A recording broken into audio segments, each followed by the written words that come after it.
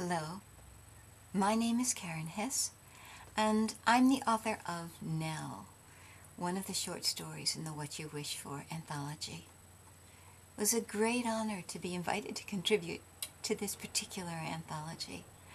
I'm not a short story writer, so it was quite wonderful to have a short story that I could offer as a gift to this project. I love the idea of this project. I love the idea of building a library in a refugee camp. A library is a house. It's a house that I went to when I was a child to seek refuge and escape and to dream in. It's so wonderful to be part of this endeavor to build a library where the refugees can go to escape, to dream, to learn, to hope for the future.